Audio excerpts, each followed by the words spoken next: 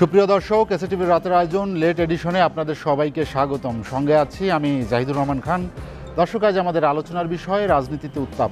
আর এই আলোচনার জন্য আমার সঙ্গে স্টুডিওতে আছেন বাংলাদেশ আওয়ামী লীগের সাবেক সংসদ সদস্য এবং সংস্কৃত বিষয়ক সংসদীয় স্থায়ী কমিটির সাবেক সভাপতি অধ্যাপক আব্দুল মান্নান, আছেন সাবেক মন্ত্রী গোলাম সরোয়ার মিলন এবং বিএনপির সাংগঠনিক সম্পাদক শামা আপনাদের তিনজনকে আমাদের আলোচনায় স্বাগত জানাচ্ছি। আলোচনার শুরুতেই আমি শামা ওবায়দ আপনার কাছে যেতে চাই। আমরা আলোচনার শিরোনামে রেখেছি রাজনীতির উত্তাপ। আপনি জানেন যে আজও বাংলাদেশের বিভিন্ন জায়গায়, বিশেষ করে নরসিংদী এবং টাঙ্গাইলে আওয়ামী লীগ, বিএনপি দুই পক্ষের বেশ সংঘর্ষ হয়েছে। আহত হয়েছে সাতাশ জনের বেশি বিএনপি কর্মী। হঠাৎ করে বিএনপির আন্দোলনে বা বিএনপির সমাবেশে বা বিএনপির সাথে আওয়ামী লীগের এই সংঘর্ষের কারণটা কী? কারণ তো সরকার বলতে পারবে। যাই হোক, আপনাকে ধন্যবাদ। আমাদের সহ আলোচক যারা আছেন, তাদেরকেও শুভেচ্ছা এবং সালাম জানাচ্ছি। আপনার দেখুন, যখন বাংলাদেশ জাতীয়তাবাদী দল জনগণের স্বার্থ সংশ্লিষ্ট বিষয়গুলো নিয়ে মাঠে থাকে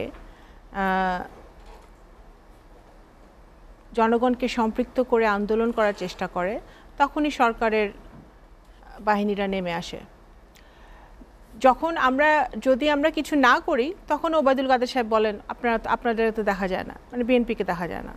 যখন আমরা জ্বালানি তেলের দাম দাম বৃদ্ধি, তেলের দাম বৃদ্ধি, গ্যাসের দাম বৃদ্ধি, পানির দাম বৃদ্ধি, সব নিত্য প্রয়োজনীয় দলের নিত্য প্রয়োজনীয় জিনিসের দাম বৃদ্ধির কারণে যখন জনজীবন অতিষ্ঠ, গরিব গরিবতর হচ্ছে, মধ্যবিত্ত গরিব হচ্ছে, খেটে খাওয়া মানুষজন, শ্রমিক, কৃষক সবারই একেবারে নাবিশ্বাস অবস্থা।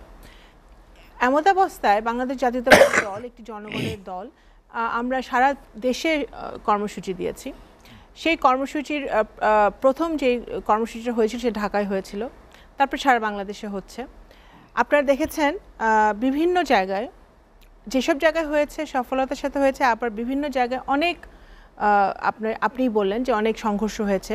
যশোর বরিশাল নোয়াখালী চট্টগ্রাম মাগুরাতে আজকে দেখলাম যে ভীষণভাবে এবং ছবি এসছে পত্রিকায় গতকালকে যে দা রামদা নিয়ে লাঠি নিয়ে ছাত্রলীগ যুবলীগের লোকজন মোটরসাইকেলে ঘুরে বেড়াচ্ছে এবং তারা এই সভা সমাবেশে গিয়ে মানুষের উপর হামলা করেছে। যশোরে আমাদের চার ওখানে চার নেতার বাড়িতে রাত্রেবেলা হামলা হয়। তাদের বাড়িঘর ভেঙে দেওয়া হয়, তাদেরকে সশরীরে আক্রমণ করা হয়। তাদের মধ্যে একজন আমাদের অত্যন্ত সিনিয়র নেতা, উনি মারা গেছেন, তরিকুল ইসলাম সাহেব, ওনার ওনার স্ত্রী আছেন, ওনার ছেলে আছেন, অমিত, এরকম আছেন। তারপরে ধরেন আপনার নোয়াখালীতে আমাদের শহীদউদ্দিন চাঁদ চৌধুরী আনি ওনার বাড়িতে ওনার ছেলেকে ফিজিক্যালি অ্যাটাক করা হয়েছে, ওনার পরিবারের সদস্যকে মারা হয়েছে, ওনার বাড়িঘর ভেঙে দেওয়া হয়েছে এবং ওনার নোয়াখালীতে সমাবেশও আগে, এটা চলছে।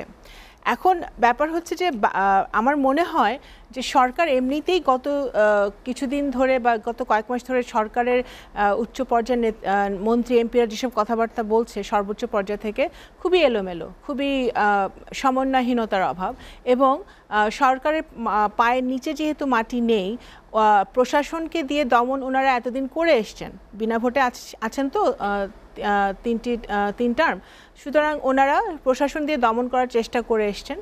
এখন যখন জনগণের পিঠ দেয়ালে ঠেকে গেছে, বিরোধী দল, মত সব, শুধু বিএনপি না, সবার উপরে তো তারা চড়াও হচ্ছে। যখন বাম দলগুলো মাঠে নামে, তাদের উপরে তারাও মার খাচ্ছে হ্যাঁ? আওয়ামী লীগের মার খাচ্ছে, পুলিশের মার খাচ্ছে। তো এই বাস্তবতা যখন বিরাজমান, তখন কিন্তু সরকারের আর এই এই যে এই গভীর রাতে হামলা করা, এটা ছাড়া তাদের আর মনে হয় টিকে থাকার কোনো উপায় তারা দেখছে না। এবং সেই কারণেই বিরোধী দল মতের উপর, কারণ তারা দেখছে স্বতঃস্ফূর্তভাবে যেসব জায়গায় হচ্ছে, যেসব উপজেলা, ইউনিয়ন পর্যায় পর্যন্ত জনগণ স্বতঃস্ফূর্তভাবে বেরিয়ে আসছে। এই স্বতঃস্ফূর্ততা দেখে এবং জনগণের পিঠ যে দেয়ালে ঠেকে গেছে, জনগণ যে তিনবেলা ঠিকমতো খেতে পা, খেতে পারছে না, সেই কারণে তাদের, তারাও ভীত সন্তুষ্ট এবং সেই কারণেই দমন পীড়নের আরেকটি অস্ত্র হিসেবে আবার সেটা শুরু করেছে। এটা পুরনো, আওয়ামী লীগের নতুন কোনো জিনিস না। এটা আমরা আগেও দেখেছি, আমরা গুম দেখেছি, আমরা বিচারবহিত হত্যাকাণ্ড দেখেছি, আমাদের নেতাকর্মীদেরকে গুম করা হয়েছে, যখন বলা হয়েছে, সেটা অস্বীকার করা হয়েছে, সেগুলো তো আমরা দেখে এসেছি। আমরা দেখেছি আমাদের পার্টি অফিসের সামনে থেকে ট্রাক থেকে, ট্রাকের আমাদের আপনার গুলি করা হয়েছে, আমাদের নেতাকর্মীরা আহত হয়েছে, আমাদের পার্টি অফিস ভেঙে রুম ভেঙে নেতাদেরকে গ্রেফতার করা হয়েছে এগুলো তো দেখে এসছি।